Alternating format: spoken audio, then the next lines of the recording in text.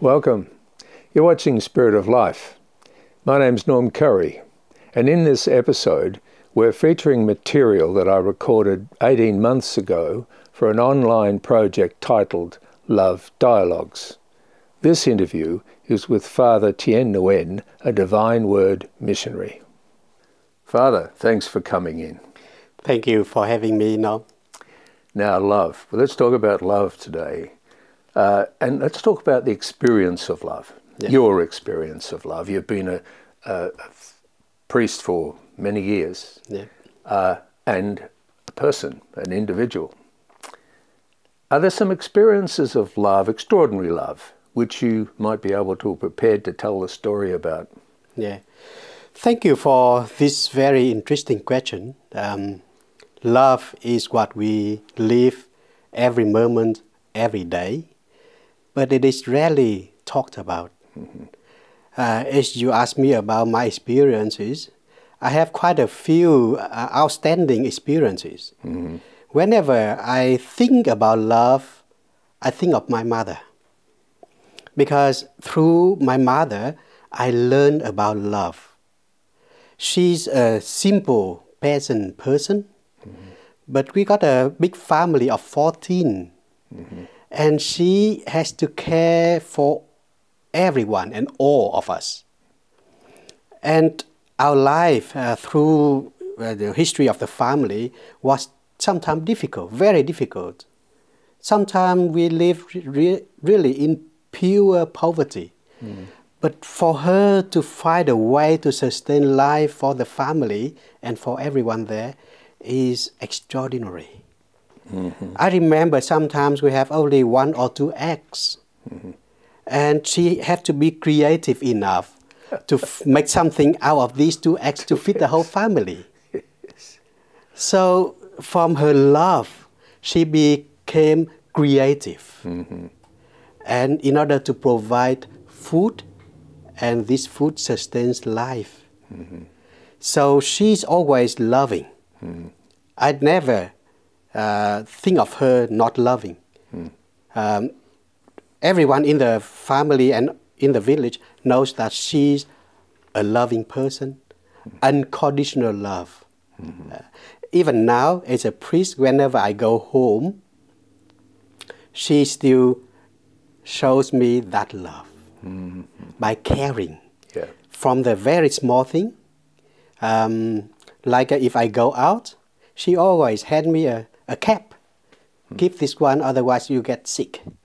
Or even when I go to the church, she mm, gives me some advice. Don't talk things to offend people. Uh, so she's still caring until today. Uh, as a priest, I'm still loving, uh, living in that loving care of her. Yeah. She's the first experience that I learned about love. And the second experience I have is of Emily, whom I who I met at uh, Soup Van, you know, when we went out to do social work to serve the, the, the needy. And after a while, I, I got sick and I couldn't go to the Soup Van. And one day she came to our community in Sydney and she asked me why, what happened. And I told her about my sickness. I was at a very critical point of my life. And, uh, you know, I, I got into this crisis of faith. I, I couldn't believe God. I couldn't believe in life because I was facing death. And uh, she showed compassion to me.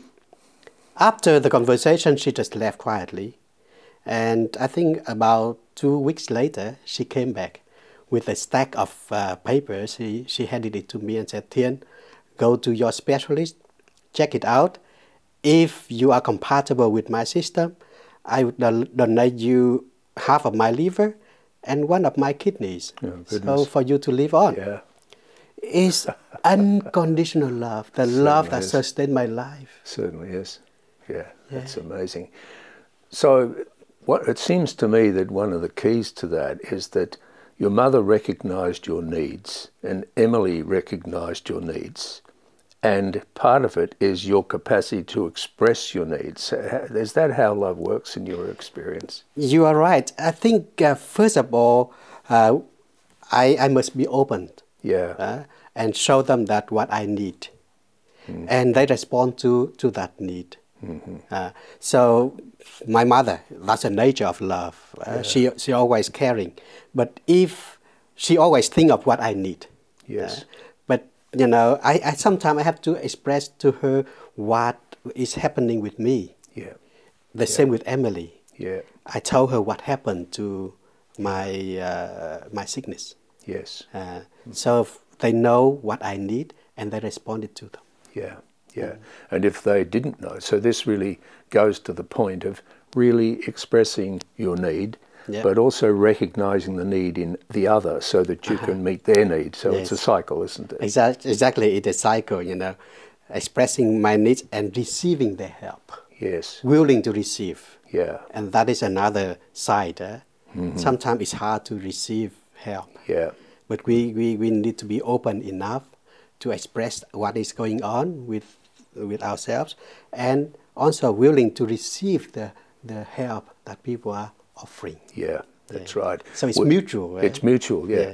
And it sort of leads over into a subject that we might later discuss in another session of actually gratitude as well as being part of that. Exactly. Yeah. Yeah. So, for anyone who was is, is watching, uh, what what would you say would be the the key to connecting with this love? How, how does that work? How do you connect with that love for yourself and for other? Yeah, love is always there, but mm-hmm. sometimes it is difficult to express. Mm.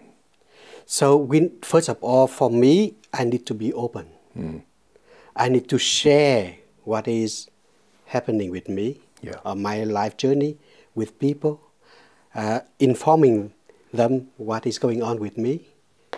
And when they offer something, I'm willing to receive it. So, for me, opening of ourselves Yeah. is the first place. Yes. Yeah. And also willing to embrace others with the help. Yeah. That is the other mm. side. Yeah. Mm. Yes, it's about compassion and connectedness and openness. Yep. Love doesn't happen in a box. No, no. It has no. to be open.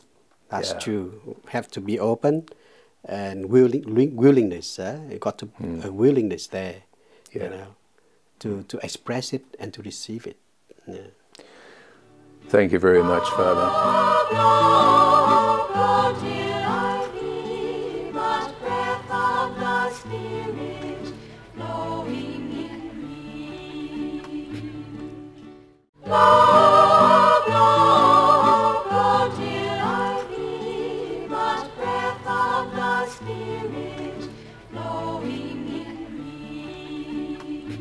Welcome back to Spirit of Life. We continue with Father Thien Nguyen. Hope. Last week we spoke about love, Yes. and the issue is experiential. What is your experience as a priest, a long term priest, and as an individual? What sort of features of hope have you seen in your life which you might care to share? Yes, hope is a driving force that uh, helps us, enables us to go on with our life. And for me, hope is like a soul that sustains my life. Um, as you asked me to share of my experiences, um, I think uh, when I was little, um, I think about over five years old, I was uh, tasked to take care of our cattle for the family. And that was my life on the field, on the farm. But my father always advised me not to give up hope. Every time we talk, he said, Thien, don't ever give up hope. Tomorrow will be better. Yeah. Yeah. So most of my friends from our village didn't go to school. uh, but my father said, Thien, you got to go to school. Whatever happened with politics, Yeah. I didn't know about politics, but whatever happened Yeah. with people, you just go to school. I did. And from that experience for, of my father, who always encourages me not to give up hope.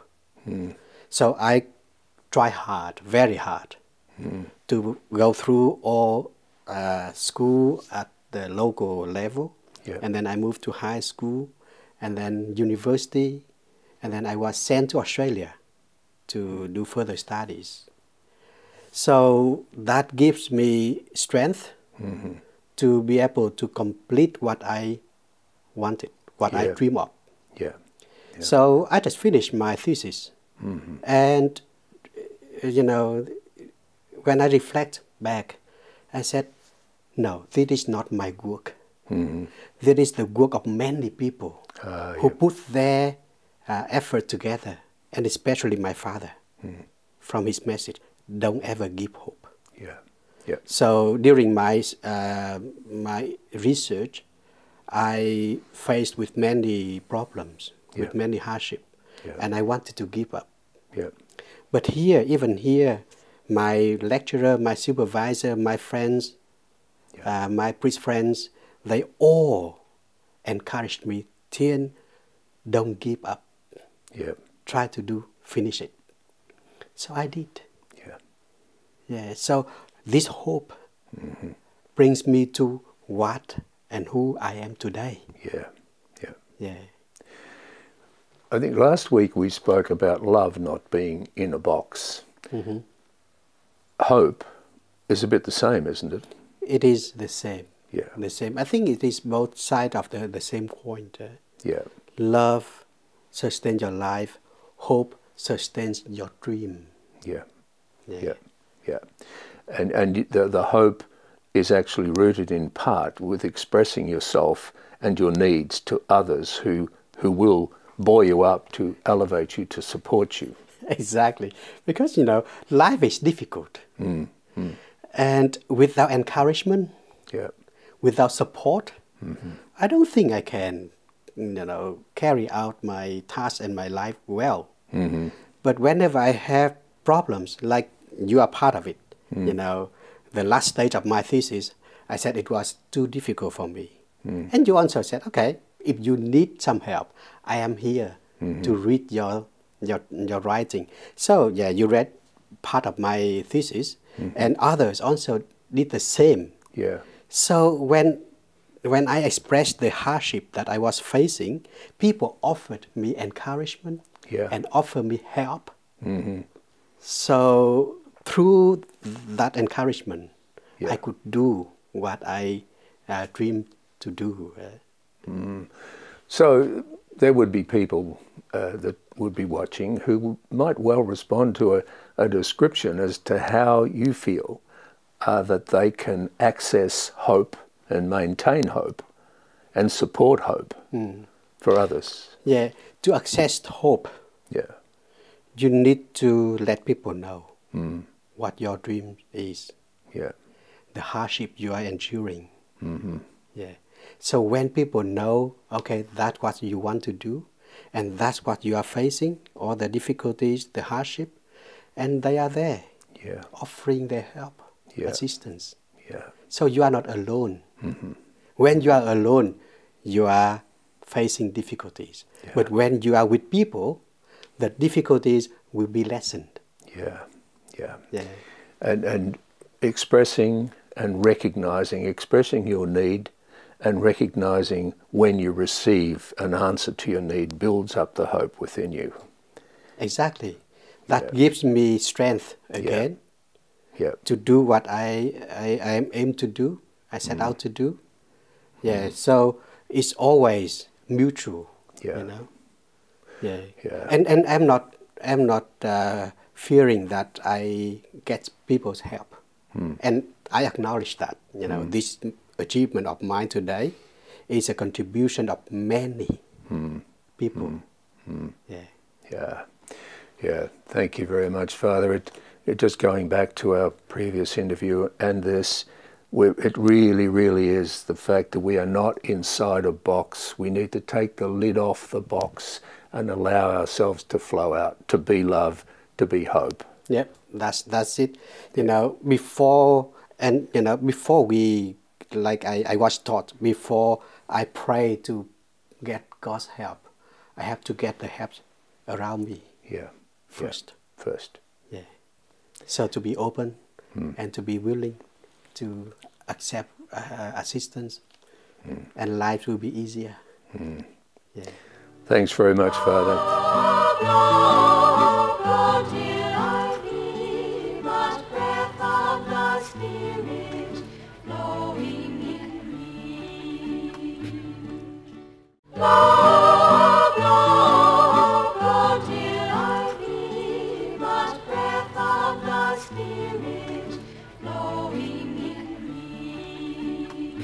Welcome back to Spirit of Life. We continue with Father Thien Nguyen. Thanks very much for coming in. And we've got an interesting question now, which we'll, we've, we've, we've discussed love, we've discussed hope, but a, a really important component of all of that is actually gratitude, being grateful. In your time as a priest and as an individual, have you got some experiences, some experiential situations where gratitude that you've observed has been extraordinary? Yes, gratitude is a virtue. Mm-hmm. For me, that is the first virtue mm-hmm. of life. Mm-hmm. From the time I wake up to the time that I go to bed, it is a time of my expressions of gratitude. Yeah. Because first of all, I'm grati- grateful to God hmm. for the for the gift of life and the gift of everything that I am enjoying. Yeah. Yeah. And that is my first attitude. Hmm. And gratitude for me is an attitude of giving thanks. Yeah. Yeah. Hmm. I'm always giving thanks to God for that. Yeah. And second, gratitude, grat- grateful to my parents, my friends, and everyone I meet in my life. Because I am sharing my life with others and they are offering their life to me. So, gratitude for me in Buddhist terms is a kind of interdependence. Yeah. We are, we inter are, like Thich Nhat Hanh said, uh, Yeah. we inter are. Yes. So we are together Mm-hmm. and we are sharing life and we are sharing whatever we have. And I am grateful. Mm-hmm. I'm grateful to that. So for me, my life is a life of showing gratitude. yeah. Yeah. Yeah. Yeah, every day I have morning prayers and the Holy Eucharist and evening prayer, all about giving thanks. Yes. Giving thanks to God, for giving thanks to life, to whomever I, I meet during the day. Mm-hmm. Mm-hmm. So that's my life, Yeah. my showing gratitude. Yeah. Well, as you said, there it's an attitude of gratitude which which actually never leaves you, Now, and it's it actually that would be supportive of a of an of a, an attitude. There we go again, an attitude of, of joy. You you you're Exactly. joyful Yeah, about. Yeah. Joyful and normally is expressed in different forms. Yes. Uh, Like a Vietnamese, we show our gratitude not very often by verbal, but by action. Yeah. Like I'm grateful to you for certain things, Yeah. and one day I may uh, cook a dinner, a nice dinner, invite you to come and share dinner with, with us, with our f- Yeah. community, Yeah. and that's a way of showing gratitude. Yes. Yes. So, showing gratitude by offering gifts, by offering meals, or by doing certain things, Yeah. and it's, it's got different formats, form Mm. uh, of, of showing it. Mm-hmm. And sometimes we living in this multicultural environment, Yeah. we misunderstand. Like uh, one time, Yes. one priest told me, "You Vietnamese are about eating." I said, "No, eating is not about eating. Eating is about sharing and showing gratitude. Yeah. Uh, and he missed the point. uh, Yes. Because Yes. we invited him so often. He, he's, he's teaching us English. And we invite, invited him to share dinner. And too often that he said, You're always eating. No, it's not, it's not about eating. It's about showing gratitude. Yeah, that's Yeah. that's a very good example. But gratitude is is a double edged has a double edge, doesn't it? In the sense that if you give yourself and you give, the expectation of gratitude is actually if you love unconditionally, there is no expectation of gratitude. You simply give for mm. the sake of giving Exactly. Yeah. Just from the heart. the heart. Yes. And yes. it is a statement. Gratitude is about a statement uh, telling me, reminding me, and telling people that my life doesn't belong to me. Yeah. Yeah. It's given. It's a gift given by mm-hmm. God to me to be mm-hmm. shared. yeah. So I don't claim ownership of who, what I am, and what I have. Mm-hmm. Everything is a gift. Yeah. Yeah. So it's a big statement. It is and then we are free. We don't expect people, no. you know, to to give us. No. But we are just showing our sharing our life yeah. and showing our gratitude for Yeah. whatever we receive. once again, it seems to be a theme developing in, in our discourse about uh, you're not going to be able to either receive in order to express gratitude, but you're not going to be able to express it either if you live in a box. You have to open the box Exactly. to let your love Yeah. and let your hope and let your gratitude flow. So Yeah. it's it's about flow. Yeah, it's about flow. It's an attitude of life toward Mm. life. So we we don't you know have to to to receive in order to express our gratitude. No, No. it's it's flowing there. And it is an ongoing process, isn't it? Because we're both sitting here now and we're both breathing Uh huh. for each breath. Yeah. Is there there's an expression of gratitude. Exactly. Yes, if we hold our breath for a, a few seconds, we find it hard. Mm. So we are grateful to God for giving us this For, our- wonderful for our earth to next live. breath. Yeah. Yeah. That's that's fantastic. Thank you so much, Father. You've been watching Spirit of Life. Join us again next week. Thanks for watching and bye for now.